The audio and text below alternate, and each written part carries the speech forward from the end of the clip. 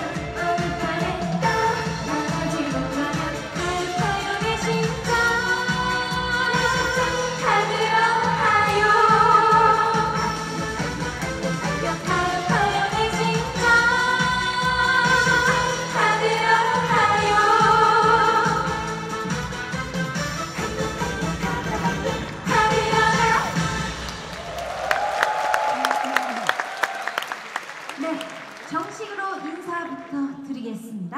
하나, 둘, 셋. 안녕하세요, 오로라입니다. 네, 전라고등학교 개교 50주년 기념을 진심으로 축하드립니다. 오늘 이렇게 특별한 날 저희 오로라도 여러분들과 함께 할 수 있게 돼서 너무 감사하고 영광스럽게 생각합니다. 오늘 특별한 날인 만큼 더욱더 특별한 특별하고 즐겁게 보내시길 바랄게요. 그런 의미에서 저희 오로라 빠따블이라는 곡 들려드리겠습니다.